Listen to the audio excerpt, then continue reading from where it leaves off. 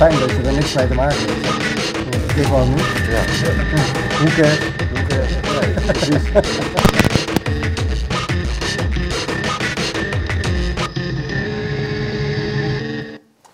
bij Topnames. De gast Stijn Grovenstein. Je bent van de Dutch Data Center Association. De, Dutch Data Center Association. Dan denk ik dat ik het beter, de, Nee, ik moest ook zeg. een paar keer oefenen. Hey, wat doen jullie? Eh, wij zijn eh, de branchevereniging, eh, organisatie voor Nederlandse datacenters.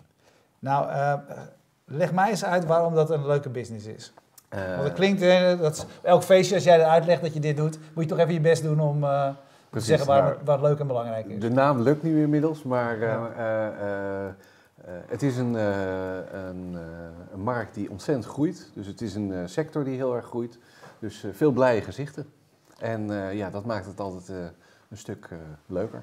Want alles, al- alles is op internet aangesloten, alles is, is data. Big data is natuurlijk het begrip van de afgelopen, afgelopen jaren. Ehm, jullie leden, dat zijn die partijen die die big data opslaan en ontsluiten. Ja, en meer dan dat, eigenlijk alles wat op internet gebeurt, staat ergens in een datacenter. Dus eh, eh, hoe meer eh, clouds, hoe meer applicaties, hoe meer software as a service er op de markt komt, hoe groter de datacenters worden. Ehm, we noemen het, je zei het zelf al, we hebben het over de cloud, maar uiteindelijk staat alles gewoon nog steeds eh, op, eh, op, op wisselende harde schijven en misschien met backups, et cetera. Uiteindelijk staat alles eh, op een server die in een kast staat in een datacenter. En dat is vaak, eh, er is zo'n areool, er is, het is aardig mistig geworden. En, maar het staat gewoon keihard in een datacenter en op een server te draaien. Nee, nou, nou schijnt, ja, weet je, het is niet mijn gebied, maar Nederland schijnt daar heel groot in te zijn. Ja, we zijn daar... Vandaar eh, waarschijnlijk ook dat jullie bestaan. Eh, eh, maar hoe, wat is de positie van Nederland in, in de datacenter business? Nou, in de datacenter business zijn wij de snelste groeier op dit moment in Europa. En we zijn na Frankfurt en Londen nummer drie in Europa. En, Vergelijkbaar met Schiphol, dat is geloof ik ook nummer drie. Eh, ja, als je het vergelijkt met eh, eh, Frankfurt en, en, en Londen, zij hebben de financiële wereld ook, waardoor er een, een stukje meer datacenters zijn. Als je die weghaalt, dan is Nederland eigenlijk op gelijke hoogte. En ja, al, het hardste groeien in Europa. Ja, nou weten we allemaal de, de bekende voorbeelden van Google en heeft een datacenter bij, in de Eemsmond. En, Ja. Eh, Apple was geloof ik iets in Noord-Holland aan het bouwen. Eh, mag, mag geloof ik niemand weten, maar dat weet toch ook iedereen. Nou, het is Microsoft staat in Noord-Holland. Oh, Microsoft staat in Noord-Holland. Oké, dan had ik dat alweer fout. Maar weet je wel, schets eens een beeld van wat voor industrie dit is. Die markt is eh, eh, echt serieus groeiend. Het is boven de 10%. Het laatste kwartaal in 2015 was er een groei van 13%. Zo rond Amsterdam. In een kwartaal. In een kwartaal. En Ja. eh, ehm, daar, eh, ja, je ziet eigenlijk dat iedereen aan het bouwen is. Eh, als je de totale investeringen in Amsterdam totaal optelt, dan nemen datacenters, wat ik laatst hoor, iets van 20% van de totale investeringen op. Dus het is een enorme business. Het is niet alleen Amsterdam, het is in heel Nederland zitten datacenters, van Noord-Groningen tot Zuid-Limburg. Ik was vandaag eh, in Maastricht in een datacenter, dus eh, Ja. eh, ik heb het zelf gezien. Ehm, en ja, dat is een markt die, die internationaal gezien ja, steeds groter wordt. Vanwege juist die hele mooie centrale positie in Europa die Nederland heeft. En daarom is het ja, eigenlijk vanuit het midden is het heel mooi data-distributie doen. De eh, hoeveelheid data lijkt eh, eh, exponentieel te groeien, groeit Ja. ontzettend, ontzettend hard, hard door. Waar, waar zitten zeg maar, de uitdagingen op dit moment voor, ehm, voor, ehm, voor datacenters? Nou, inderdaad, je ziet dat het heel hard groeit. Data die groeit ongeveer 40% per jaar. Datacenters doen er alles aan om dat ja, bij te houden. En een van de grootste uitdagingen is inderdaad zorgen dat je, dat je genoeg ruimte hebt. En eh, eigenlijk alle grote concerns zijn hier aan het bouwen. En elke twee jaar eh, wordt er wel eh, van die concerns een nieuw datacenter opgeleverd. Ook qua personeel is het belangrijk dat je kan blijven meegroeien. ook al is het relatief, het directe personeel valt, valt redelijk mee. Je moet toch groeien. Maar ja, de bedrijven die naar die datacenters toe komen, die hebben ook personeel nodig. En daar zie je een veel grotere groei in. Hey, nou hebben jullie een tijdje geleden met een paar andere mensen de Dutch Data Center Association opgericht. Volgens mij in begin 2015 of zo. Ja, begin 2015. Uh, wat is het doel van jullie club? Nou, het doel is om de belangen te behartigen. En dat was eigenlijk deze groep. maar was dat nodig of zo? Of waar, nou, waarom zou je dat willen? waarom zou je dat... het is inmiddels zo'n grote sector geworden dat ja, die sector die is zo belangrijk voor Nederland aan het worden. En het is belangrijk dat dat verhaal gehoord wordt. En je kan daar dan als individuele bedrijven op reageren, maar samen kan je daar veel verder mee komen. Maar waar, maar waar zitten ja, de problemen? Nee, waar zitten de knelpunten? Nou, misschien nog een andere vraag. Je kwam uit de verkoop van tweedehands kleding voor vrouwen. Heb ik me laten vertellen. Dat is een zijproject inderdaad geweest, ja. Ja, maar dan begin je opeens een, een, een, een club voor datacenter. Weet je wel, wat, wat is jouw persoonlijke drive om dit te doen? Nou, mijn persoonlijke drive dat ik ook voor die, uh, dat idee, die start-up... Dat deed je uh, toch? Ja, dat deed ik. Ja. We hebben dat even gedaan. En, en het bestaat ook nog steeds, second-hand brand. En um, deels meer mijn vrouw die dan daarmee bezig was. Maar daarvoor werkte ik al in datacenters en in telecom. Dus dit was meer een soort ja, sideproject dan dat het. Uh, mijn, dus die carrière switch, dat heb ik ervan gemaakt. Ja, dat heb jij ervan gemaakt, ja. Maar het is wel leuk om dat uh, mee te maken en uh, onder, aan de, onder lijven onderwinden. Maar oh, even terugkomen op, op ja. het, de, de, noodzaak van een, van een belangenvereniging. Um, uh, in sommige gevallen uh, snap je niet. Je, je bent een partij uh, die moet aan de politiek duidelijk maken dat privacy een belangrijk punt is of wat dan ook. Wat, welk punt hebben jullie te, te, te, te, verkopen waarom het belangrijk is dat jullie er zijn? Nou, privacy is zo'n punt. die industrie die hier komt naar Nederland, dat is inmiddels zo groot geworden. Als wij heel strikt het privacywetgeving gaan doorvoeren zonder rekening te houden met deze grote sector en met de belangen van deze sector, dan eh, eh, ja, dan uh, draai je eigenlijk misschien de groei om van deze hele mooie nieuwe sector. En dat is eigenlijk die datacenter-industrie is eigenlijk de basis van het hele internet. alles wat daarop komt, die indirecte effecten, zijn gigantisch. En de Nederlandse hostingindustrie die in die datacenter staat, is de nummer drie qua groei in de wereld. En Microsoft die verkoopt, uh, voor, voor Microsoft is Nederland het derde land in de wereld qua licenties. Dat is gigantisch. Er staan hier zoveel servers in die datacenters te draaien. En um, de bedrijven die daarin weer specialiseren in bijvoorbeeld datadistributie is gigantisch. Apple die distribueert hier zijn updates via de Amsterdam Internet Exchange. Netflix um, kiest Amsterdam als hoofdkwartier voor filmdistributie. Dat komt door die uh, waanzinnige infrastructuur. Als je daar ja, eigenlijk de verkeerde maatregelen uh, neemt en niet daarin rekening houdt, dan uh, draai je dus uh, eigenlijk een hele bloeiende nieuwe industrie voor Nederland de kop om. En dat, dat willen we niet. Maar geef dat eens een voorbeeld, wat zijn dat dan voor maatregelen? Wat, welke verkeerde maatregelen zouden er genomen kunnen worden? Nou, de verkeerde maatregelen is dat wij dus een heel erg strikt privacybeleid gaan voeren. Maar uh, dat kan je veel beter in lijn op een Europees niveau gaan doen. Nou, gelukkig zie je steeds meer dat dat een level playing field wordt. Uh, niet dat wij tegen privacy, nee, ik, zeggen, ik vind dit altijd toch wel ingewikkelde nee, dat is, hoor, die, die Maar je, ziet houdt, dat, je ziet dat, dat op bepaalde punten andere landen dan in één keer hun wetgeving heel open gaan maken. En je ziet dan die hele industrie daar naartoe uh, uh, verdwijnen. Het belangrijke punt wat wij zeggen, wij zijn niet tegen strenge privacy, maar dat je het wel in heel Europa gelijkertijd doet. Nou, gelukkig in 2017 wordt dat een level playing field. Maar als je dan andere landen bekijkt, bijvoorbeeld een, uh, uh, aan de ene kant het uh, Ierland is heel makkelijk daarin, terwijl in Duitsland heel erg strikt in zijn. Wij zijn, zitten nog redelijk in het midden, maar daar moet je wel, dat moet je wel in de gaten houden. Ja, is de reden dat het zo groeit in Europa en Nederland ook het gevolg van de Patriot Act. En, en weet je, de behoefte om toch steeds meer data van Europese burgers ook op Europees grondgebied uh, op te slaan? Nou, dat is een, uh, een zijeffect. De grootste uh, bedrijven in het internet zijn allemaal Amerikaans. Ja. En wij hebben een hele goede band met Amerika.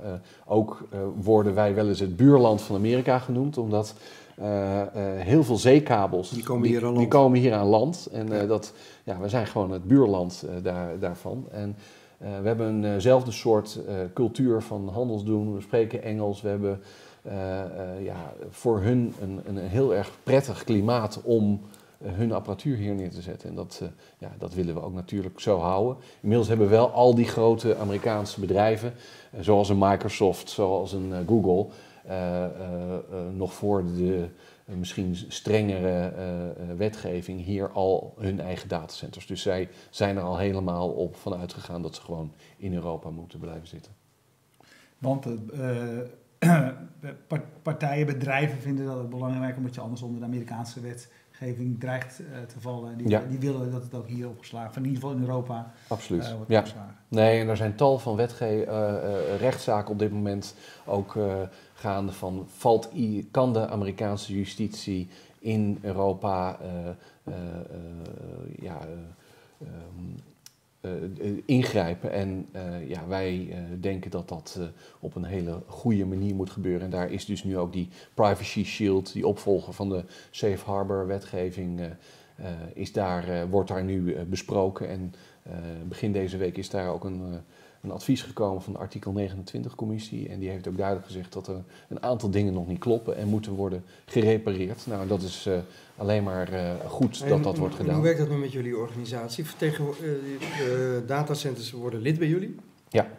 Betalen daar contributie voor. En vanaf dat moment vertegenwoordig jij hun in de verschillende gremia? Precies, ja. Nee. Zo werkt het. Hoeveel Hoeveel datacenters zijn bij jullie aangesloten? Wij hebben uh, eh, 29 datacenters op dit moment aangesloten. Dat is ongeveer 85% van het vloeroppervlak in Nederland. Ja. Dus we hebben bijna... Het is dan dat je vloeroppervlak ja. zegt, want ik, zou, ik zou in Terra, of weet ik wat voor bytes... Ja, je kan het in stroom, uh, je kan het in, uh, in, in vloeroppervlak doen. Als je het... Maar goed, 85% is aangesloten. en en hoe, hoe ziet een dag van jou er dan uit? Wat doe je dan? Um, nou, vandaag heb ik een datacenter bezocht uh, om het weer even door te spreken over uh, uh, wat zij belangrijke punten vinden. ik ben de sector aan het promoten, dus we brengen papers uit, we brengen persreleases uit, we, we doen handelsmissies ook, we, we promoten Nederland wat betreft Mainport. Dus we wat je, wat je ziet als brancheorganisatie, deze sector die was nooit georganiseerd. Uh, een van de dingen die heel erg missen is goede cijfers, goede rapporten. Uh, maar ook uh, het besef dat bijvoorbeeld op ambassades, de, de, economische afdelingen of de NFIA, dat Nederland behalve koeien, kaas en bloemen ook een, een heel nieuw exportproduct heeft of een nieuw ja, product heeft. En dat is het datacenters, het internet, internetknooppunt. En dat, uh, ja, daar zijn we nu heel mee, druk mee bezig om dat steeds meer uh, tussen de oren te krijgen. Nou, wat ik altijd wel een belangrijk punt vind is uh, duurzaamheid is een, is een, is een, een belangrijk onderwerp. wordt steeds belangrijk. Ja. energie is schaars. althans, anderen vinden dat er abundance is, maar, of in ieder geval komt. Ehm, datacenters gebruiken ongelooflijk veel energie. Ja. Um, hoe kijk jij naar die problematiek? Want hoe meer datacenters in Nederland, hoe meer stroom we nodig hebben en hoe kritischer die infrastructuur natuurlijk allemaal wordt. Ja, datacenters gebruiken ontzettend veel stroom. En, uh, maar dankzij datacenters gebruiken we een stuk minder stroom dan we anders zouden uh, doen. datacenters zijn helemaal ingericht op efficiënt stroomgebruik. En um, ja, het is net zoals de NS. De NS is ook groot, maar, en die gebruikt ook heel veel stroom. Uh, maar uh, als de NS er niet was, zouden er veel meer auto's op de weg zijn. Um, er is net een rapport uitgekomen van CE Delft en die heeft ook bekeken van wat daar de trends in zijn. Los van dat rapport zijn we ook jaarlijks aan het kijken van hoe het stroomgebruik ja, zich, hoe dat groeit of hoe dat zich verhoudt tot elk jaar. En daar zie je eigenlijk dat er een vrijwel stabiele lijn is met stroomgebruik. Dus ondanks dat die data-explosie plaatsvindt, zie je dat door steeds meer efficiëntiemaatregelen dat stroomgebruik eigenlijk hetzelfde is gebleven. Vorig jaar is er 0,7% uh, gestegen. Um, uh, maar dat CE Delft rapport wat in februari is uitgekomen, dat, heeft, dat meet dan eigenlijk de hele stroomverbruik. Dus van smartphone tot en met datacenter. En daar zie je eigenlijk dat doordat steeds meer uh, devices, computers, laptops gebruik maken van software die in datacenters draait, dat als je het over het geheel pakt, het stroomverbruik de komende 20 jaar zo'n 10 à 20 procent gaat dalen voor de hele ICT-sector. Dus het verschuift naar datacenters, het stroomverbruik, uh, wat minder op uh, de devices. maar geheel genomen zie je gewoon dat het stroomverbruik afneemt. Ja, lobby jij bijvoorbeeld ook bij de energieleveranciers, want een ononderbroken infrastructuur is natuurlijk cruciaal. Ik kan me voorstellen dat ja. dat ook een reden is dat ja. die bedrijven naar Nederland komen, die kijken gewoon naar de statistieken van uitval ja. En ik kan me zo voorstellen dat Nederland dan ergens in de top uh, vijf, vijf uh, weet ik wat. Nou, we hebben een hele degelijke infrastructuur en gelukkig gebeurt er heel weinig. Aan, aan, aan, aan, moeilijkheid. Maar je ziet wel dat bijvoorbeeld Tenet, wat het hoofdnetwerk levert, Liander of Enexis of andere partijen eronder, ja, hele andere groeitijden heeft dan datacenters. Datacenters ja, binnen twee jaar heb je een heel nieuw groot datacenter gebouwd. En Tenet, die denkt in 15 jaar voor een hoofdstation. Ja, dat is een hele. Dan, dan, dus bijna de, de, hoe de tijd dat onze industrie bestaat. Dus ja, wij zijn ja, wat gegroeid ik, ondanks. Ik, uh, wat ik daarin wel fascinerend vind, en ik ben benieuwd wat jou, hoe jij daarnaar kijkt. Een beetje een zijspoor hoor, maar het is meer mijn persoonlijke fascinatie dat je. Ehm, ziet dat die grote bedrijven ook helemaal niet meer afhankelijk willen zijn van de overheden. Mm. Dat, hebben ze niet zoveel vertrouwen in. Mm. Uh, en dat de partijen als Google bij wijze van spreken liever hun eigen elektriciteitscentrale naast een datacenter mm. zetten dan dat ze zich afhankelijk maken van uh, publieke infrastructuur. herken jij dat? Nou, ik herken niet 1, 2, 3 dat wij, de partijen waarmee wij werken, die, die maken gewoon gebruik van het algemene net in Nederland. En Google doet dat ook. Wat die wel doet, is die koopt uh, stroom in uh, voor langer termijn, zodat ze zeker van zijn dat zij genoeg stroom hebben. In, in dit geval een windpark boven, boven Groningen. En Microsoft doet dat ook in de Noordzee. Um, je ziet dat die, die sector eigenlijk ja, heel erg grote focus heeft op.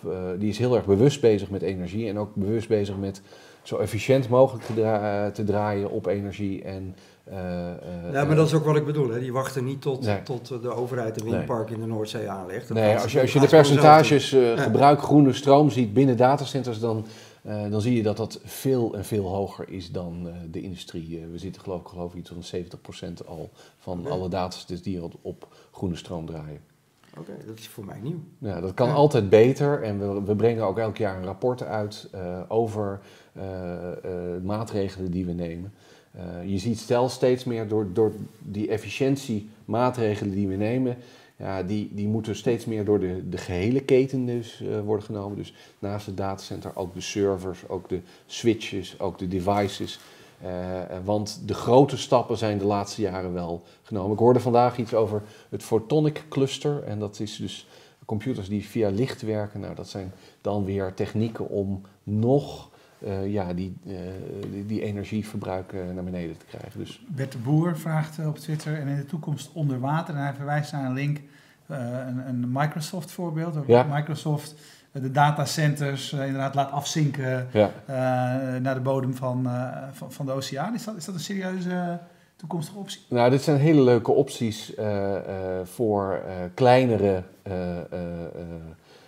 oppervlakte of hoeveelheden computers. Uh, als je kijkt van waar het internet op draait, dat zijn ja, uh, zulke hoeveelheden infrastructuur.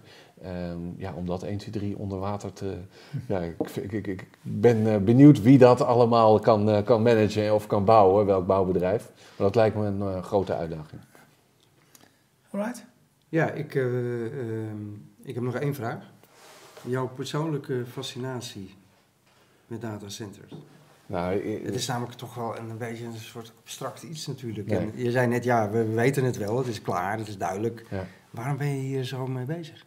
Waarom ben ik hier zo mee bezig? Nou, ook, uh, ik, ik, liep vanochtend in een datacenter en dan loop je door een soort leeg gebouw met uh, lege ruimtes die allemaal donker zijn totdat je de gang doorloopt. Maar, je, maar bent zo'n jongetje die science fiction films kijkt en vooral van apparaten met heel veel knopjes houdt. Ik heb er wel een paar uh, gekeken, maar ik heb, ik heb ook een leven. Ik, ik maak ook uh, tweedehands webkleding.